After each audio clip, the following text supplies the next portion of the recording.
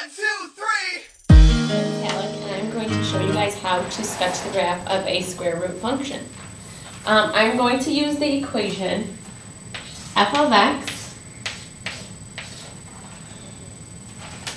equals the square root of 9 minus x minus 2. Okay, and I'm going to identify the transformations and how to find the y and x intercept algebraically. So first you want to start off by identifying what parent graph you're using. And so for this parent graph, we're using the square root function, which is the square root of x. And for this parent graph, the graph looks like that. Um, next, after you find what parent graph you're using, you want to find the transformations. And for the transformations, the first thing you want to identify is the reflection that you're using. So when equal, equals negative f of x, the reflection is over the x-axis. And then when g of x equals f of negative x, the reflection would be over the y-axis.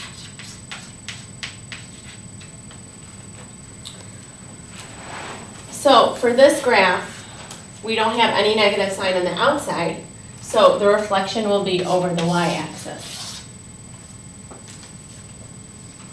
Next, you want to find out what the horizontal shift would be. So for the horizontal shift, when f is a number, when x minus a number, you want to move to the right.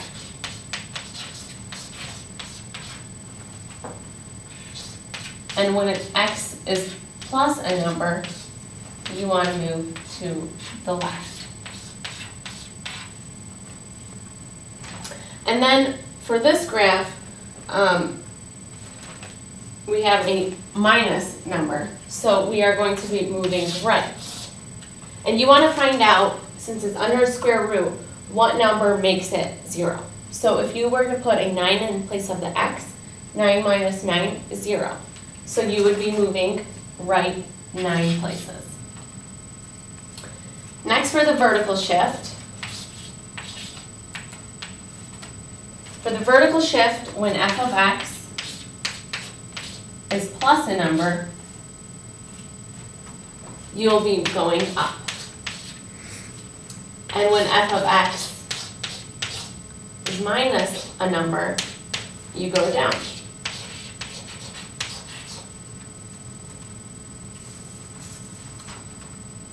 So for this one, it's minus 2.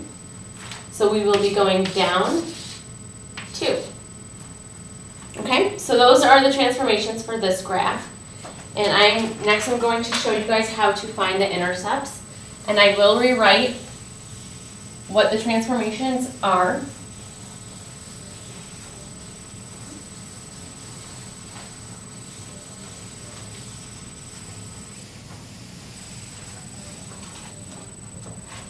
So the transformations for this graph, is over the y-axis. It is right 9 and down 2. All right, so for the y and, y and x intercepts, um, you want to substitute the f of x with a 0 for the x-intercept.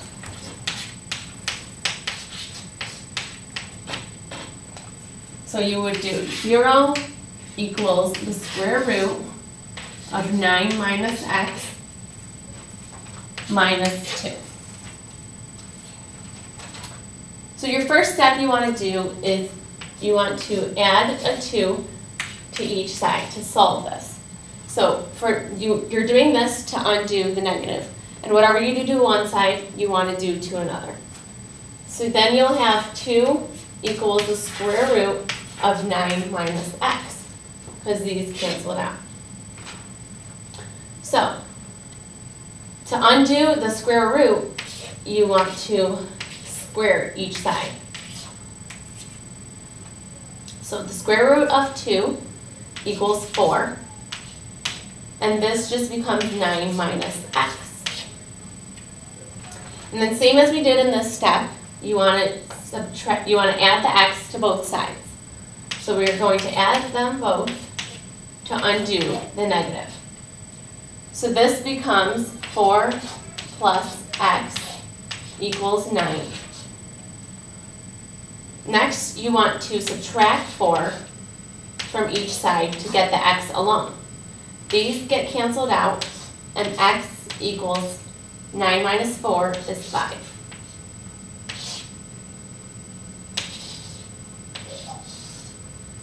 So then, our ordered pair for this would be 5, 0. Okay? Next, I'm going to show you guys how to figure out the y-intercept. And for the y-intercept, you want to substitute the x in the f of x with a 0. So you would do 0 equals the square root of 9 minus x minus 2. Now, an easy way to remember that you're substituting a number, the x with a different number, is by putting parentheses. So you just do 9 minus parentheses minus 2 to help you remember to place the 0 in. So this just becomes the square root of 9 minus 2. Now the square root of 9 is 3. So 3 minus 2 equals 1. So this gives you an ordered pair of 0, 1.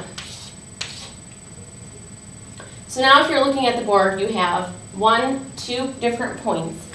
And then over here, you would have the point of 9 and then a negative 2. Because you're, you're going right, which is positive, and down, which is negative.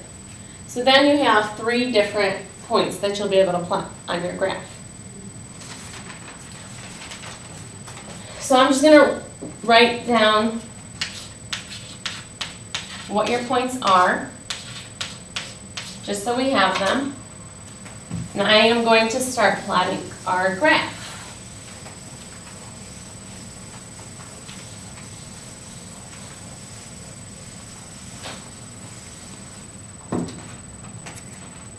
Now, for the graph, the easiest thing to do is to do your reflections first.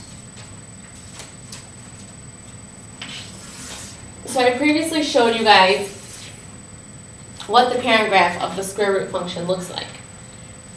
I'm going to demonstrate that with a dashed line in a different color. So our next step, we have reflection over the y-axis. So I'm going to use a different color and reflect it right now because it's really easy if you do it right from the beginning. It doesn't help you, it helps you not get confused later on the plotting.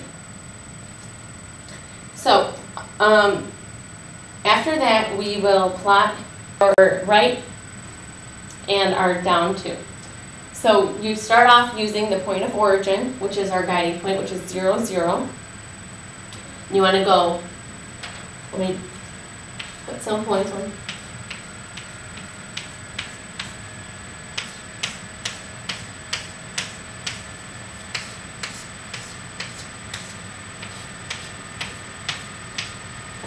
So you want to go nine spaces right, one, two, three, four, five, six, seven, eight, nine, and down two spaces.